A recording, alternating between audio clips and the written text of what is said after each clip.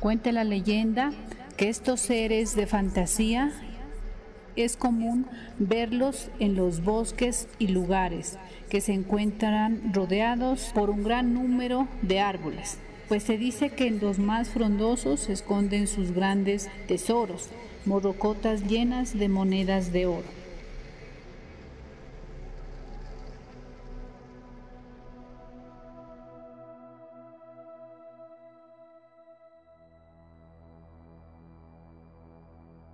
Se dice también que es como un hombre pequeño que lleva un sombrero enorme. Al duende le gusta perseguir a los niños bonitos y para traerlos les ofrece regalos o juguetes.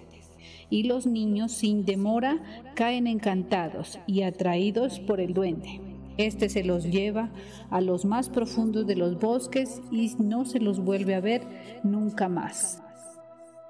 Se dice que el duende es el guardián de una gran fortuna y que para que este ser revele la fortuna hay que tener un carretón o un trébol de cuatro hojas que permite hipnotizarlo.